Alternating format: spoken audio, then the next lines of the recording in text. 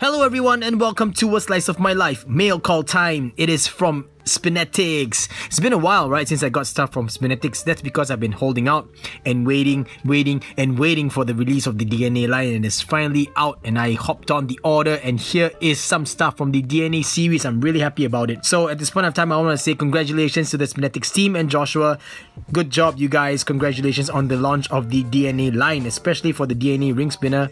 I know you guys have already seen the giveaway video that I'm doing for the Y Plus. I will say again that I'm jealous and a little bit sad that I missed out on the first run of the DNA ring spinner, but really congratulations on selling out so fast. So let's just crack this box open and let's see what's inside. But it's got a little cute smiley face over here. I don't know who this is supposed to be. Is it supposed to be you, Joshua? I don't know, but it's a little smiley face. No need for a knife in this slice of my life because this is one of the DHL boxes that has this little pull tab on the side. So let's go ahead and rip this apart. Okay, that didn't really work out very well now, did it? Oh, okay, here we go. Ah, that's good. Okay, that seemed to have worked. So let's just slowly take things out one by one and make sure that the invoice is not here because I don't want you guys to see my address for no reason. Maintain the tension for you guys. More paper. Okay, first box is coming out. Look at that, guys. Sweet DNA box. I wonder what three stickers means. It could be a Y, right? Let's see, what is this? It's a micro Triton spinner, guys. I've never owned a Triton before, just a Biton. But, uh, you know, I've been wanting to get one of these because they look so cute. It's super small. And I've wanted to order one of these, but, you know, I wanted to save on shipping. So I've been waiting for the DNA line drop before I actually added this to my cart. So this is in the order as well. Another DNA box. We've got two stickers this time. More packing paper right there. And this one has one sticker. So maybe this is the I, this is the Y, and this is the X. We don't really know. Since this video is gonna be about the DNA series, let's just put this boy aside and keep that for another video. Now, let's go ahead and open them in order. So it'll be one, two, three, in order of the number of stickers. So let's check out this one first. Let's take a look at the box. Choking hazard. Looks like it's been glued down on this side over here. It looks like it's a flat kind of an opening system. So let's just see. Yep, I was right. Oh, it's magnetic, guys. That's cool. Oh, sweet. I got a new sticker. So first of all, you're greeted with a sticker and it looks to be a little bit metallic. Oh, that's nice. It's slightly metallic. I think it's a really nice touch. Oh gosh, guys, my hair's standing again. Look at that, guys. This is the DNA I machine finish. That's beautiful. Oh, my hair's standing again. Because now I'm feeling it in my hand. It feels so good. Look at those buttons, man. It's, it's the new button style. Oh, you know what? It spun really well, but I'm sorry guys, I forgot to check the bearing retention again. So let's just check out the bearing retention, shall we? Okay, so it looks to have a stainless steel 10 ball R188 bearing in it, and the bearing retention is fine. Buttons are very nice, concaved with a few steps. I think it is two steps and an outer lip here. So that's really nice. Well done. This outer lip here is exquisite.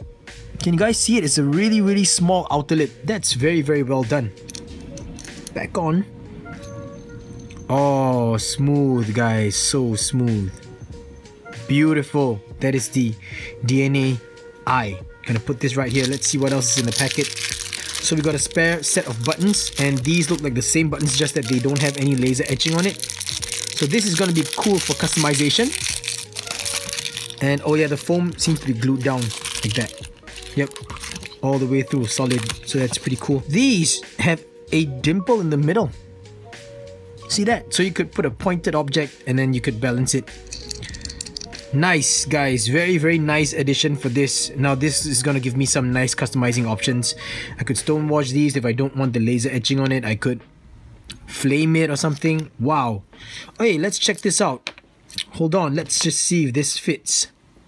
Put this here one and one and see if this works. Oh, it fits guys. Oh, even this one has the divot in the middle, that dimple in the middle. So you could have it this combination if you want. With one side with a laser etching and the other side plain. That's completely up to you. But you know me, I'm kind of OCD that way, so I want both sides with laser etching because it looks super awesome like that. Alright, I'm gonna put this aside. So that is the DNA I. So this, I'm gonna assume is the DNA Y because, you know, I, 1, 2, Y, 3, X, I think so. I think so. Let's just open up. What the hell?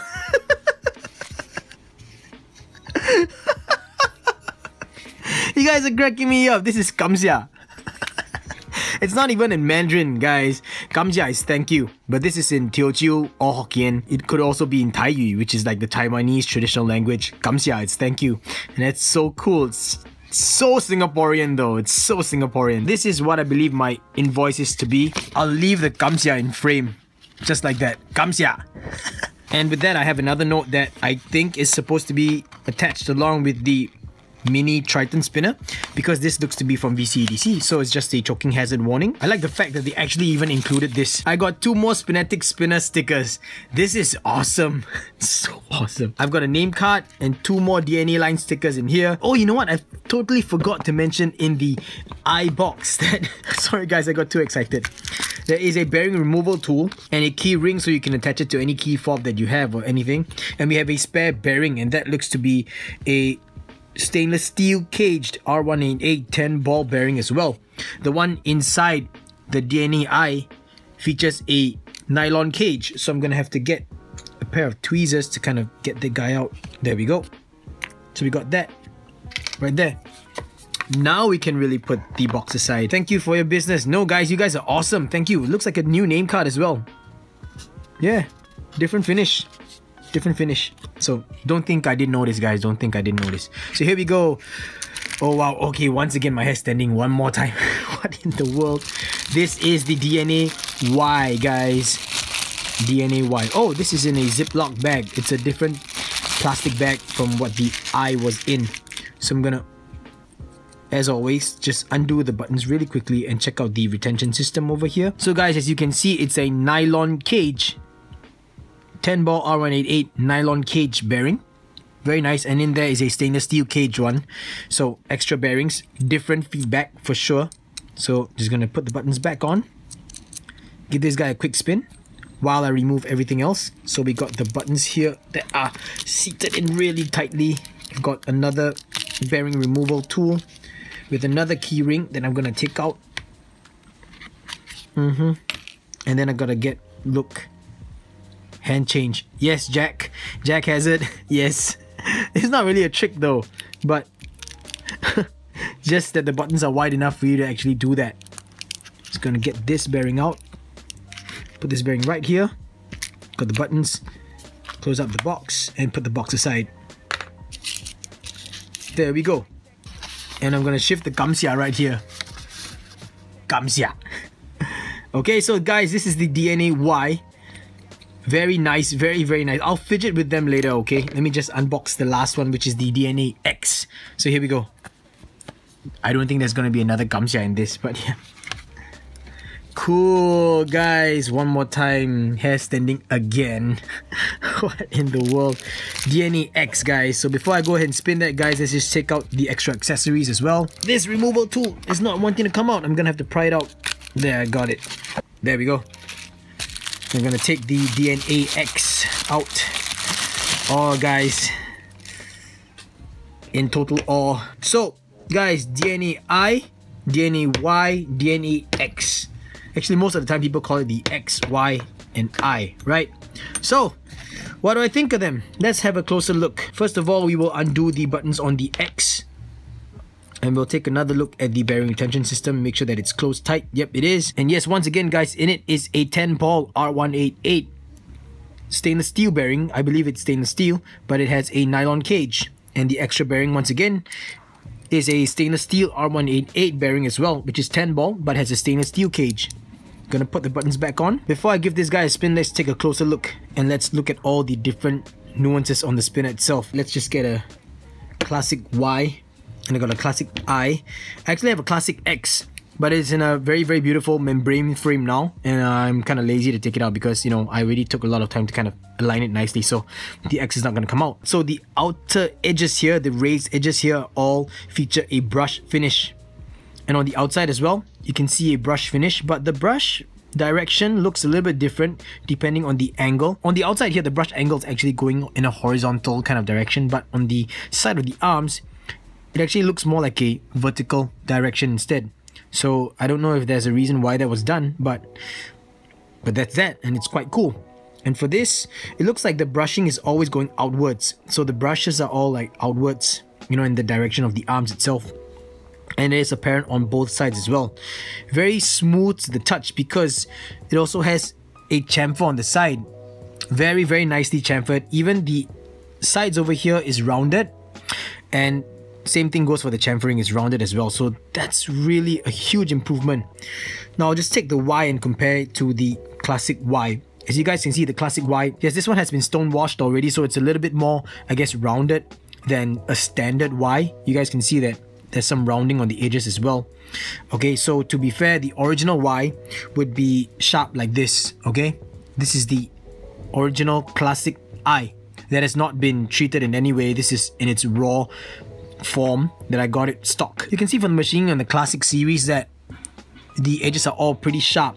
Very, very nice angular cuts, but they result in a very sharp edge as well. Taking feedback from all the customers so far, even myself, you know, Spinetics went ahead and thought about doing a rounded edge, and I believe that this DNA series was actually designed by my buddy Jong Un. I'm sorry if there's some kind of a banging sound in the background. I think some construction work just started, so that's gonna be a little bit irritating. Now that you guys have seen the close-up of these, these nuances are really good.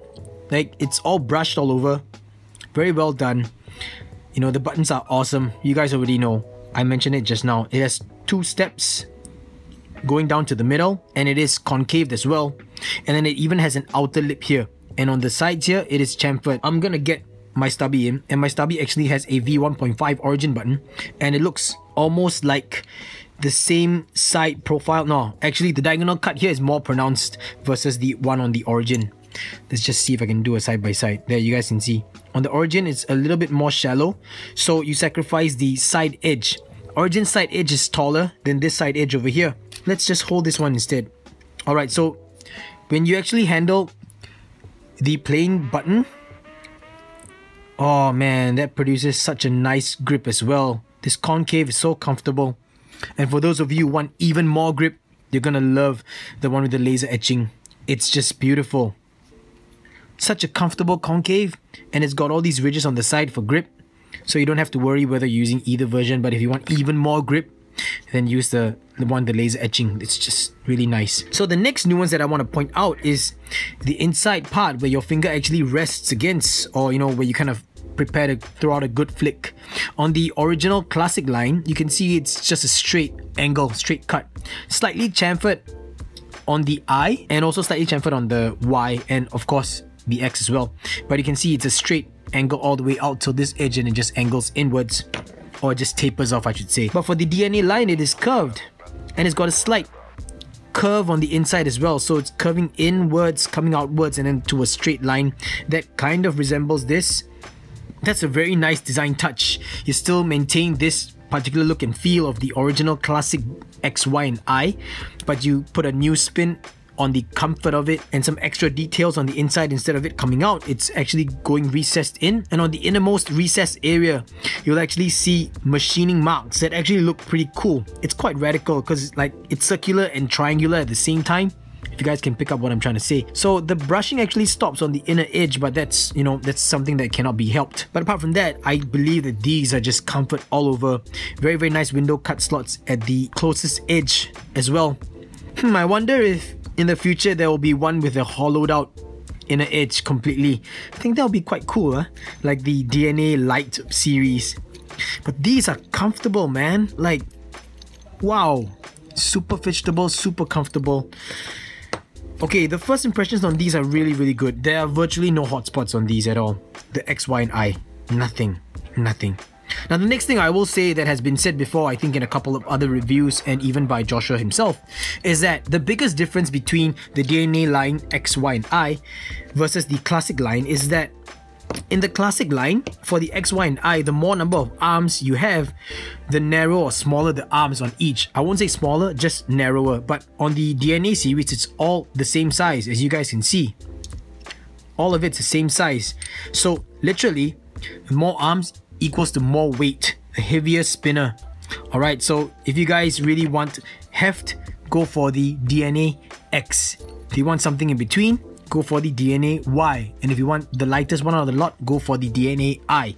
Of course, guys, the price ranges anything between, I think it was like $42.99 all the way to about, I think $59.99, correct me if I'm wrong. And that's because these are actually available in a plethora of different materials, with the base materials being brass, copper, stainless steel, and also you have titanium. And the last that I checked, I think that the X in titanium was sold out. And that's kind of sad. But that's also, you know, something that is to be expected because Spinetics has started actually offering anodizing for titanium. So that's really, really just pushing the boundaries of the game, you guys. Always bringing innovation to it, you know, and making things affordable for everyone. So really, good job. So far, I think the most comfortable is the Y, in my opinion, because, you know, just finger just rests there in that curve right there. Super comfortable. Man, this feels good. And it's like, like a silent spin. It's really silent. I'm digging the bar as well. This feels good. I'm glad I got stainless steel because I didn't want something that was too light. And you guys know I have a love for bars, right? So I'm biased towards the bar style spinners. This is no exception. Beautiful bar spinner. This one though, this is hefty, but the only thing that I cannot do is get my finger all the way in because it's kind of narrow over here, but it's not uncomfortable. It is still very rounded. I mean, clearly you guys can see. Oh man, fidgeting with this. So good. So good. Oh goodness gracious me. I'm so glad that I got one of each.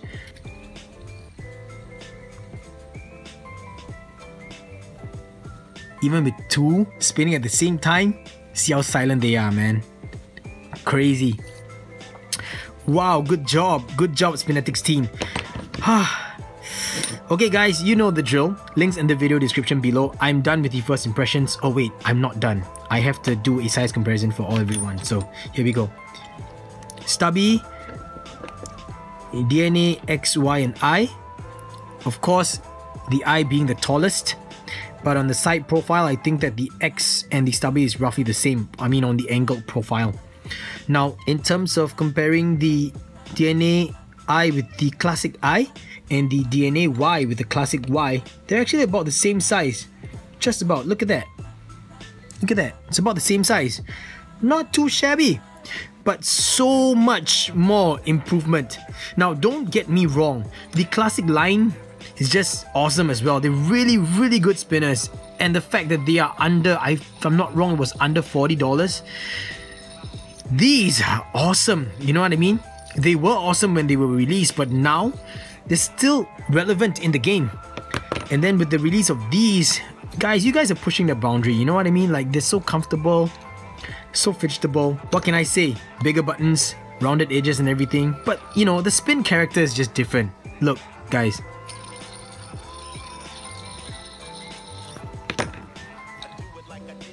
spin character is different. Like even the way it spins, you know what I'm trying to say? Like the way it cuts the air and everything. I know, I understand that a lot of it is attributed to the bearing that's being used, but this is something that I cannot explain not till you actually try both, you know what I mean? So everyone who's a Spinetics fan and you guys have the classic series, you won't regret getting one of the DNA line for sure, uh, in my opinion. Like right now, I'm just saying this, you know, based on my first impressions.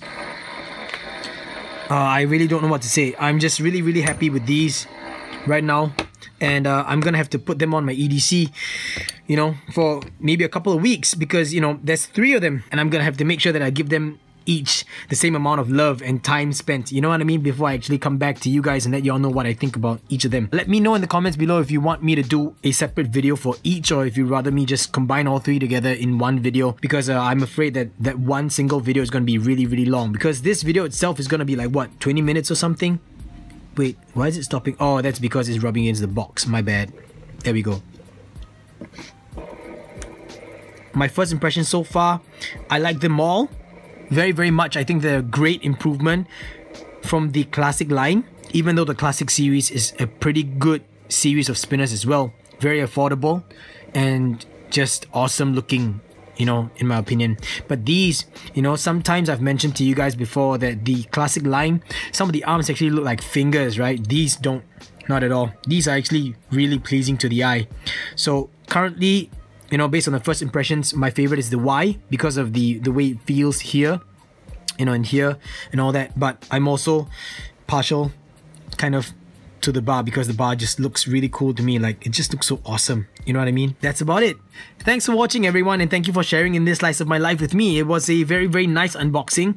I haven't done such a huge unboxing in a while, so this is really just overwhelming for that price point and all the extra accessories that you get. It's just really completely super value for money. These are all under $50 guys. If I'm not wrong, the stainless steel versions are $49.99 but you don't just get a spinner you get two bearings and they're different bearings by the way you get two button sets and they're just awesome buttons, one with laser etching and one without. You get the spin itself, you get a bearing removal tool, you get a key ring, you get a beautiful magnetic closing box and stuff. You get the DNA stickers. What more can you ask? You know what I mean? So, with that said, guys, I hope that this first impressions has provided enough information for you to decide whether or not the DNA, I, X, and Y are spinners for you. I'm liking them so far. I've been wanting to get them since I saw the initial render images, and they're finally here and they've surpassed my expectations. You know, images versus the actual thing, the actual thing looks way better. Yep. And I'll catch you guys in the next slice of my life, everyone. Bye.